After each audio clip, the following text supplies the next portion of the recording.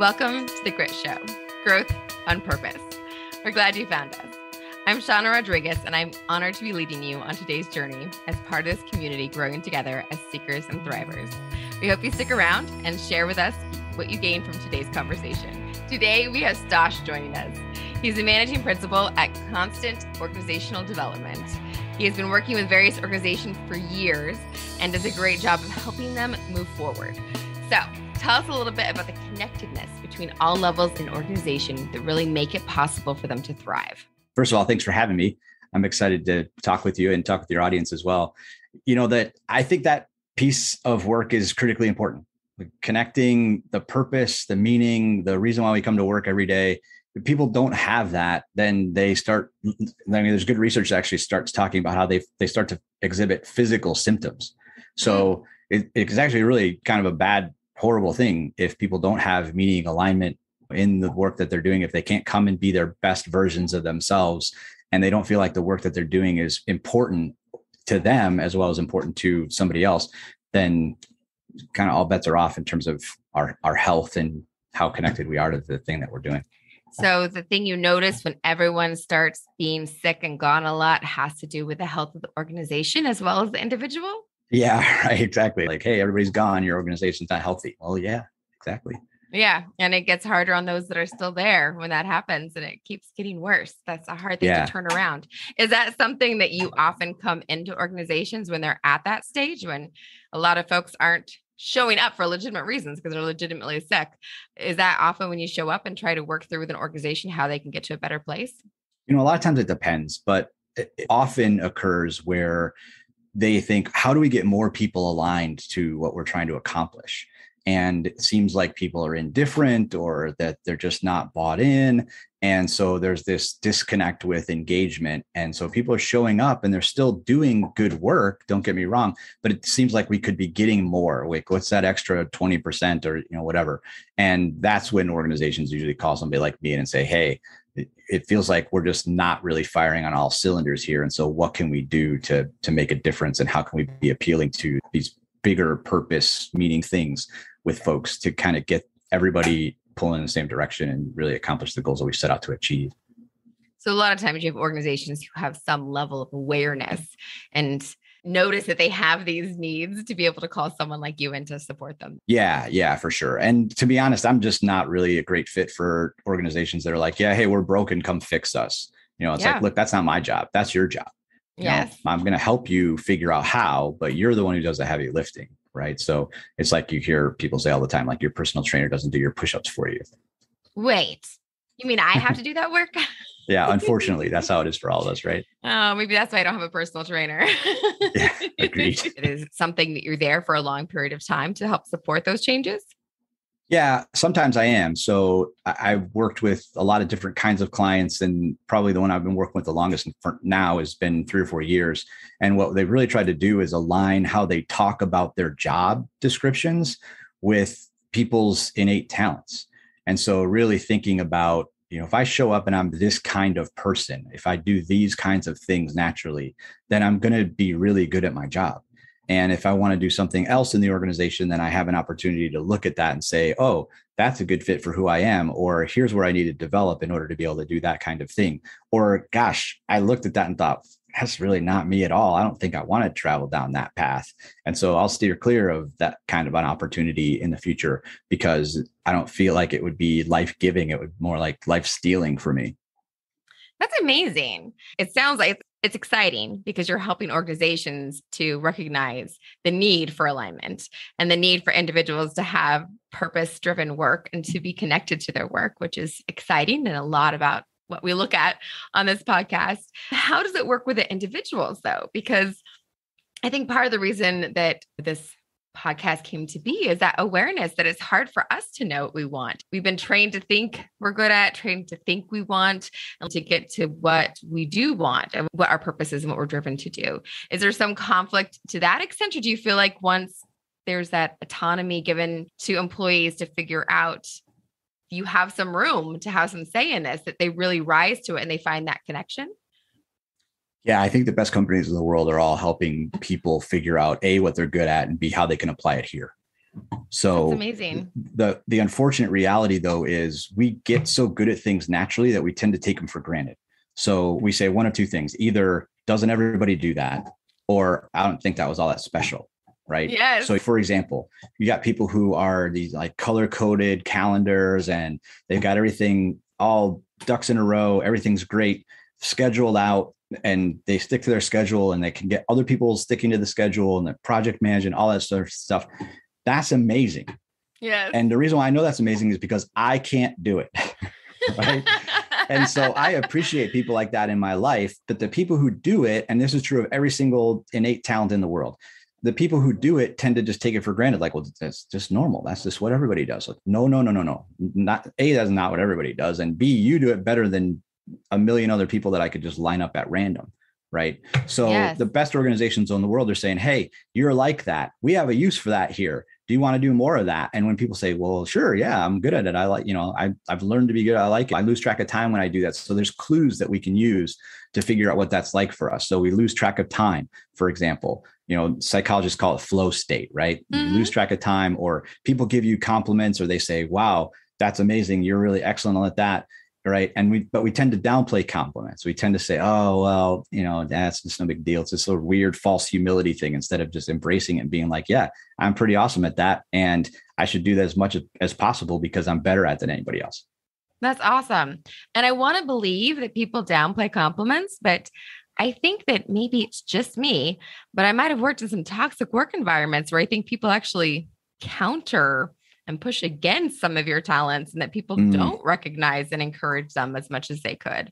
Yeah. And we might have some toxic managers out there that tend not to do that. So people don't get the encouragement that they need and get discouraged about stop wasting time on color coding things. I need you over here doing that instead of actually recognizing what those talents and skills are and how to capitalize on those. Yeah. Yeah. So the, that's where the misalignment happens, right? We get too focused on what are we trying to achieve? What are we trying to achieve? What are we trying to achieve? And then thinking that anyone will do, right? So it's this philosophy that I hear all the time in mm-hmm. organizations. They, they say butts in seats, right? Yes. Like we just need butts yes. in seats. We just need to yes. hire somebody to do this. No, you don't need to just hire anyone to do this. You need to hire someone who's good at this to do this. You need to hire someone who comes in and says, I want to do this with all of my time because it means that my eight or nine or 10 or 12 hour day will go by in a heartbeat because I lose track of time with this. Because if I could do this with every single moment of every single day at work, I would be happy and they're going to produce a much better outcome than anybody else would. And so the irony is in our organizations, we keep saying, oh, let's just have anybody do that or anybody can do that. And then we're surprised that the quality isn't good or that the outcome isn't good. It's like wait of course the outcome isn't good. You're asking somebody who's no good at this who doesn't want to do it to perform in that way instead of taking your time deciding oh here's a person who really does this well. Let's let them do it as much as they possibly can. Yes and finding a way for that to work. I think i've also worked at places where when people do have things they're good at, it's decided that we don't have time for those things. Like you're really good at connecting people and leading meetings and coming up with snacks or treats or setting up tables of stuff that create community, which is actually key for successful organizations. And people are, we don't have the budget for that anymore. We don't have time for you to spend on planning these events. We don't have time for that. And those are the things that get cut away. And because we had to get down to the basics when when that happens, you start losing those people because that's the part of the job they liked was doing those things instead of recognizing you're really good at this. So when you're in a position for those listening, when you're in a position and let's say you were that person that was really great at setting things up for meetings and really good at bringing people together and facilitating things, and that gets cut because we don't have time for these anymore and, and we're not doing these meetings anymore. Do you recommend trying to talk to your organization to find space for those things, or do you recommend looking for a new place to work that actually honors and sees your talents as they are as an asset to them? You know, I think both. So most organizations they cut that sort of stuff first and then they regret it.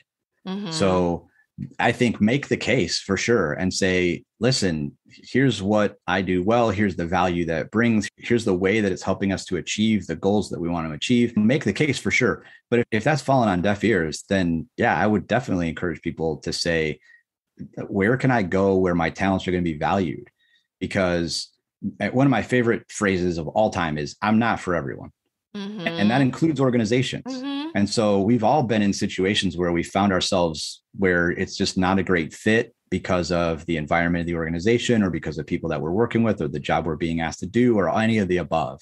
And so it's 100% okay to say, you know, like I'm not for this organization. This organization isn't for me. And if they're not going to value the things that I value highly, then it's probably time to start looking for something else to do.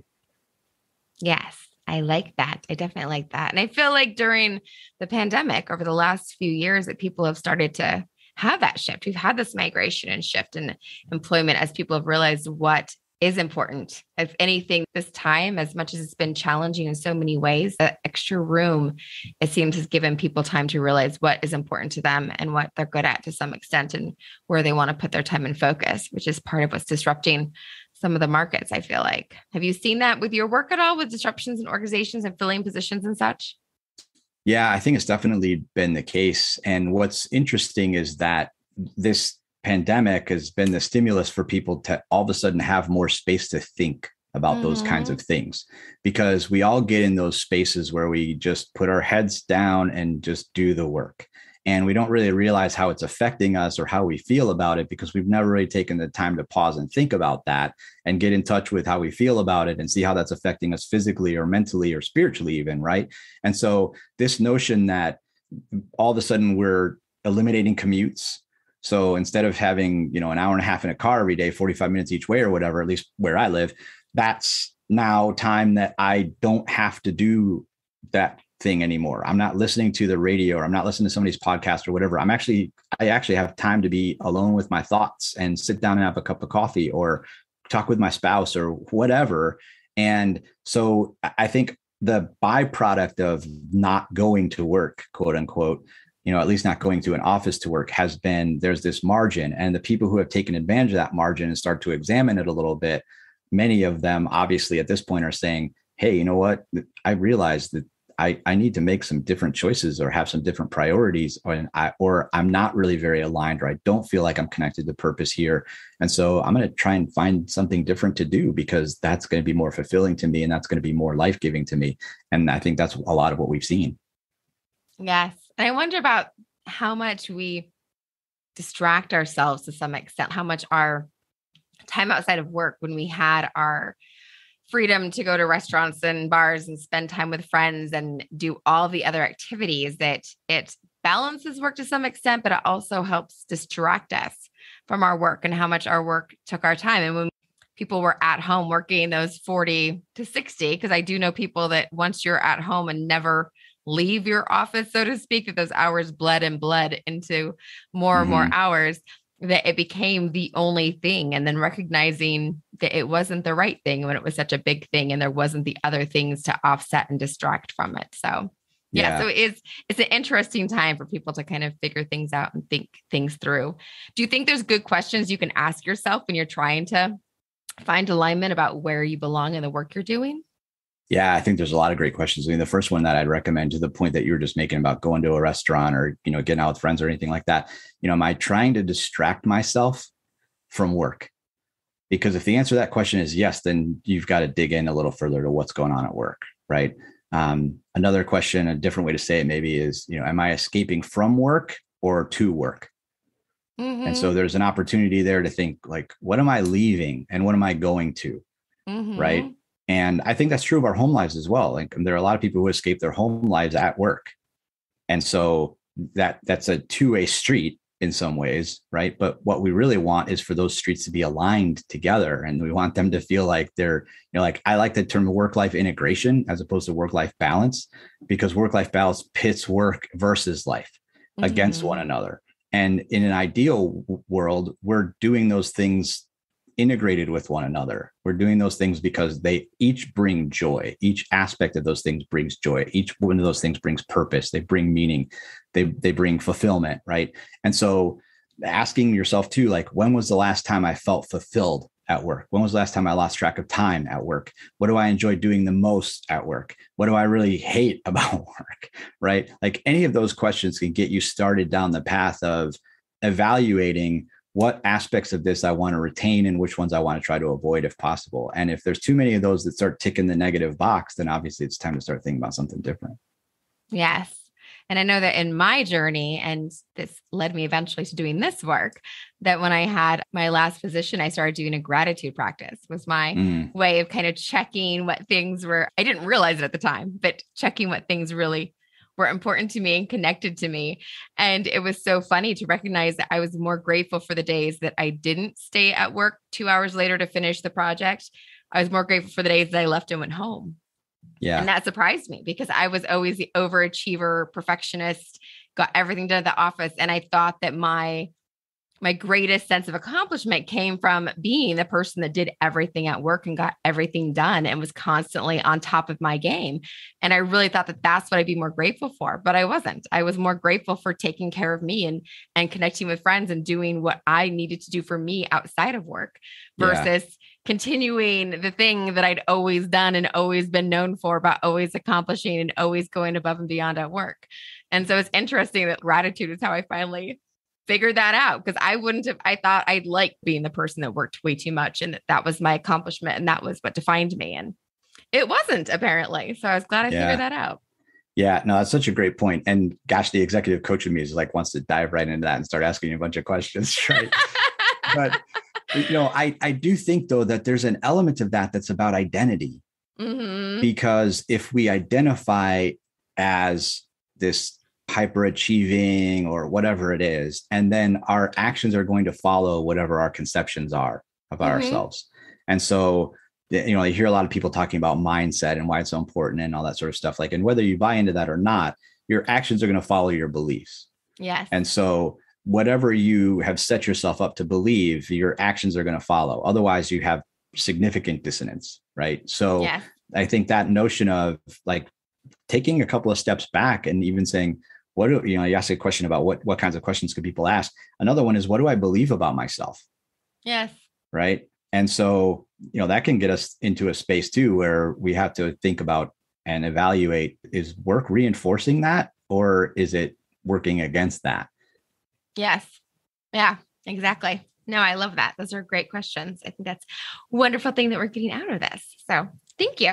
Stosh and I actually met because of working with a boot camp with Amy Porterfield, who, if you haven't heard of Amy Porterfield, she is amazing. She does a lot with businesses to help them succeed in online marketing and whatnot. She's great. In our initial conversations, we actually learned that we both had backgrounds that kind of connected to education in some degree. And so it's been fascinating to me lately to, as I look at purpose, that to me, one of the important things about purpose is that it's beyond just a vocation or a specific career path, that it's actually bigger than that. And so I've really enjoyed lately, I've, heard of different people who started in education because their purpose was connected to what education does and what it's meant to do. And that it's led them onto these other paths as they followed purpose versus being told I should be a teacher or being told I should be in education, that they've gone on to these other journeys. So I would love to hear a little bit about your journey of finding your purpose and how it led you through these different phases a little bit. Could you share a little bit about that? Yeah, for sure. So I started my career in traditional education settings. I was a classroom teacher for a few years and realized pretty quickly because of what I mentioned earlier about the color coded planning and all of that, that mm-hmm. I'm a mm-hmm. terrible planner and mm-hmm. that planning is required for educators like i had a senior administrator ask me for a entire semester of lesson plans for a class and i was like I, I teach this class three times a day and it's going to be different every time based on how the students walk in the room so mm-hmm. there's zero chance i'm ever going to be able to give you an entire semester's worth of lesson plan i was like i could do it but it just won't be true right mm-hmm. and so i realized pretty quickly like that was not going to be for me at the time, I was also coaching soccer. And so I just made a transition into coaching soccer because I realized that what I really wanted out of education was the connection and the ability to mentor or advise or come alongside and build trust and relationships with my students. Mm-hmm. And so the vehicle for that was the subject matter. The subject matter wasn't the end. And I think too often in education, we make the subject matter at the end. Well, you've got to be a master of this, this, this, and this in order to be able to progress to the next grade or to graduate or whatever. And I know those things are necessary, but that wasn't why I got into it. I don't think most educators get into it for that. And so I did the same thing with soccer, but then I had the mentality of what I'm really doing here is trying to build into people who are going to be high functioning members of their communities and great spouses and great friends and you know all those sort of things at formative times in their lives when they need people who have been a couple of steps further down the road than they have to sort of step in and say hey here's how you do it right? Yeah and so we did that with college soccer for several years. And then i read a bunch of gallup's books because a mentor gave me one. And so the first one was now discover your strengths which is this book that has the uh, strengths finder assessment in it. And i took the strengths finder assessment. This was probably 2002 or something like that. And i look I, I, read this book and i took the assessment. I looked at the results and i was like how does this computer know me? It mm-hmm. was just the mm-hmm. weirdest thing i'd ever experienced. And so then i got super interested in what gallup was doing started reading their other books. And then i had this moment i remember like it was yesterday even though it was almost 20 years ago. I put my finger in the book i set it down on the table and i looked over at my wife and i said i need to work with these people and so I'm a college soccer coach at this point, right? Uh-huh. And she's to her eternal credit, she was like, well, then you should. And so I literally applied online for an associate consultant position that day. And six months later, oh, I had wow. a different career. And so, and I ever since that. then, I've been in organizational development and executive coaching and all that other sort of stuff. So the thread that runs through all of that is wanting to help people. Like I say all the time, one of my favorite things in the world to do is get underneath something or someone and stand up. That's awesome. I love that. Yes, we're going to have to link because I've also done the Strengths Finder as part of a fellowship I did in DC and found it was really wonderful. So we'll put a link to that in the show notes as well, because that really is a great tool for people to reinforce. Because there's that piece too that we need some reinforcement of our strengths at time. I love yeah. your story and I love the support of your spouse. I have a really supportive partner as well. Yeah, I I am eternally grateful for a million reasons for my spouse. That's amazing. That's wonderful. We are actually getting closer to the end of our time together. So we're going to touch on self-care and then wrap around to the real world application which i think we have some some good stuff we got out of this this is a question we ask all of our guests what do you do to take care of yourself oh not enough so we like I'm, honesty. Yeah, I'm one of those people who my body is kind of the backseat driver. I'm constantly telling it just like, no, just do, you know, just do what I say. Just be quiet. I'm not interested in your warnings or your, you know, whatever else. When I'm at my best though, I get out and exercise. I ride a bike, I run, and I listen to things when I'm doing that that are life giving to me, that are energizing for me. Right. So um, whether that's podcasts or just music or whatever. Those are some things that I do to take care of myself for sure. I also make time to create community around things that I enjoy. So, for oh, nice. example, I host a whiskey uh, tasting in my house every month, and we have nice. a community that comes around that. And that's when I realized how important it was to me and to a lot of the other people who do it when we stopped doing it because of COVID. Yes. And how many of the people who attend said, Oh man, I really missed this. And so it was less about the whiskey we were trying and more about just the relationships that had developed over that period of time. And so that's a way that I, I feel like I can care not only for myself, but also for others. And I think one of the best ways to care for yourself is to think about how you do that with other people. Oh, I love that. I love that. I love creating that community. That is awesome. So, one of the things that we have here is we've actually created a series of coloring books. We've just started called The Color of Grit. And so, for all of our guests, we actually offer you a free coloring book. So you nice. get to choose it and you're welcome to gift it if that's not your thing, because we want everyone to do their self care their own way. But we have a vintage mermaid and magnificent ocean one. And you've got this, which is funny and inspirational quotes. Or do either of those resonate with you as one we can send you a copy of? I'm going for the mermaid ocean one. I love it. That's yeah, that that seems to be the popular one. I like that. Yes. Right. We'll have to send you a copy of that so that you can have options and share if you'd like as well. That's Great. wonderful. Great. So then as we wrap up, what is something our guests can walk away with and start doing tomorrow to apply what we've talked about? I think maybe circling back to some of the questions to see about their alignment possibly with their current work and what they're doing in their organization. What do you think? I think asking yourself questions is great. The big thing about that though is carving out that time. Yes. So one of the things I talk about a lot in coaching is this idea of what time are you scheduling into your calendar that's for you? So we tend to let our calendars run our lives and mm-hmm. we don't often take control of our calendars in ways that say, even if it's only for 15 minutes in a day, put something in that's non negotiable, right? Whether that's the 15 minutes before you're going to have lunch, if you get a lunch, right? And if you don't, then start getting one, right? Because that's a thing. So in that time, and maybe it has to start out with during your commute, or maybe that has to start out with even just as you're pulling into the driveway you know after you do your grocery shopping or whatever it is just stay in the car for 10 minutes right so figure out get creative but carve out the time to sit and ask yourself okay how am i feeling what am i thinking about whatever the situation is am i getting to use the best parts of myself in these different areas of my life that are important to me work home parenting community involvement whatever it is and then start to sit with the answers to some of those questions, right? Is that consistent with the way that I see myself? Am I hearing feedback from others that would reinforce that? Right. All of those kinds of things, as we're getting into some, some of those specific questions like we talked about earlier, I think those questions are great, but they're useless if we don't get intentional time around it. And so I think if there's one thing that your listeners could do, it's to really say, I'm going to get some time and I'm going to mm. protect that time so that I can do something that's going to help me be introspective enough to make some decisions if I need to make decisions or reinforce and feel good about the decisions that I've already made and then figure out which ones am I going to make next that are going to help me to have that purpose and that alignment that everybody needs in order to be fulfilled and to be whole. Yes. So put down that cell phone, stop scrolling TikTok or Instagram or Facebook or whatever else is your favorite distraction.